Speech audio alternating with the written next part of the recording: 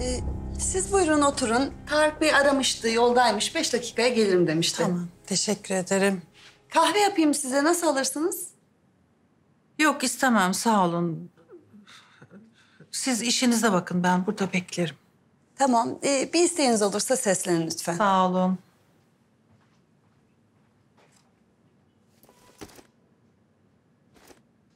Hakime teyze. Ay Öykücüğüm, of kaldıramadım seni. Kocaman olmuşsun. Seni çok özledim. Ben de seni çok özledim. Bir taneciğim. Gel bakayım. Of. Ay ay ay ay ne kadar büyümüşsün sen. Ay boyun ne kadar uzamış Öykü. Hı hı. Saçlarım da uzadı bak. Evet saçların da uzamış çok güzel olmuşsun. Zaten çok güzeldin.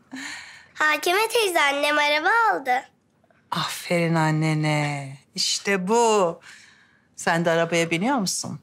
Arkaya oturuyorsun değil mi? Ve kemeri takıyorsun. Hı. Kemerimi de takıyorum. Aferin çok güzel. Bir de şirket açtı annem. İş kadını oldu artık. Para kazanacak, oyuncak ev alacak bana. Ay bugün sen bana ne kadar güzel haberler verdin öyle. Bir de şiir yazdım. Okuyayım mı? Şiir mi yazıyorsun? Ay ben çok severim şiir. Evet hadi bakalım oku. Tamam o zaman bekle getireyim. Ha yukarıda tamam. Hadi bekliyorum. Canım.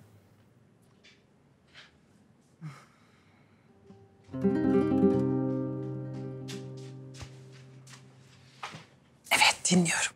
Benim güzel ailem beni hep okşar severler.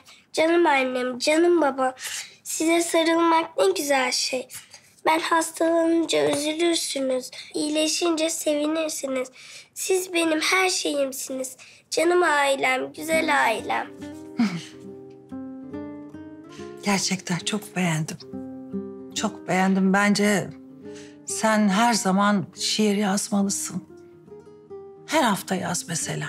Tamam söz bir tane sana yazayım mı? Olur çok memnun olurum. Teşekkür ederim. Gidip başlayacağım ben yazmaya. İlham mı geldi? İlham kim?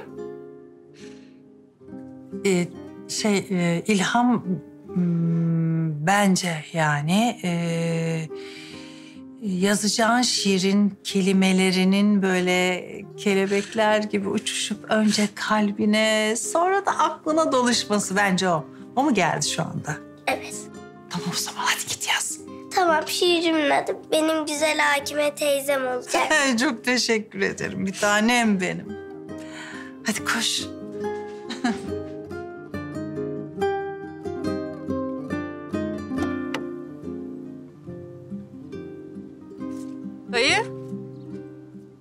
Azra? hayırdır erken gelmişsin? Evet. Odamı Yeşim'e kaptırınca ben de mecburen eve geldim çalışmak için. Ya dayı, bunu söylemek bana düşmez ama. Sen bu yeşime çok yüz vermiyor musun? Aynen. Sana düşmez Azra. Haberi gördün mü? Gördüm gördüm. Bilemedim yani. Sonuçta Oylum'la Ozan da var işin içinde. İyi de ben onların adını geçirmedim ki. Ya Güzide'nin gelini, Güzide'nin damadı. Senin adın zaten hiç geçmiyor dayı. E geçmeyecekti tabii. Öyle konuşmadık mı Azra? Ya ben Güzide'ye bir skandal yarattım. Haberim tıkanma rekoru kırıyor. Ama senin umurunda değil dayı. Hani hep arkamdaydı? Tamam tamam tamam. Güzide.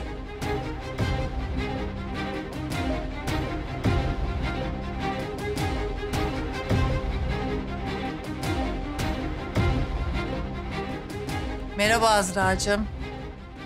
Ne güzel genç bir kadın olmuşsun. Ne konuşuyordunuz hakkımda? Ne söylüyordun? Hı Tarık?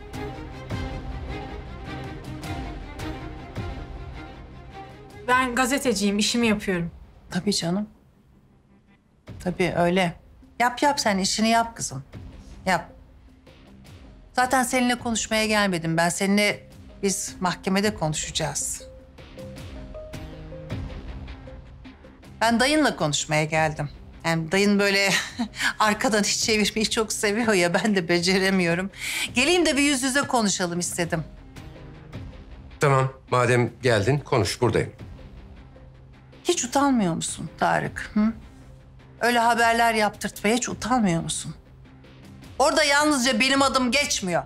Çocuklarının adı da geçiyor. Senin soyadını taşıyor onlar. Utanmıyor musun ya böyle şeyler yaptırtmaya? Benimle bir alakası yok Güzide. Müdürü öyle yazmasını istemiş. O da öyle yazmış yani. Ben de kızdım ayrıca yani aslında. Gördün mü Azra'cığım? Ben sana telefonda söyledim değil mi? Bu adama güvenilir mi Allah aşkına? Bu adam herkesi satar. Değil akrabasını, 30 yıllık karısını sattı, çocuklarını sattı bu adam. Bu adam herkesi satar.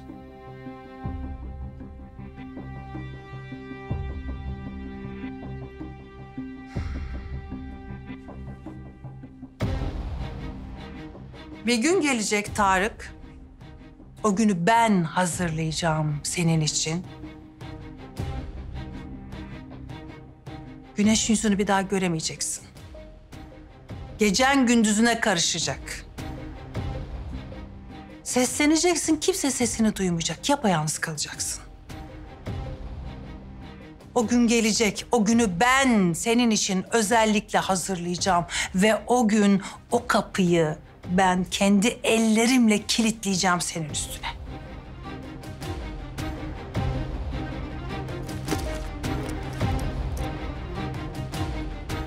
Azra'cığım annene selam söyle. Gerçi o beni hiç sevmez ama.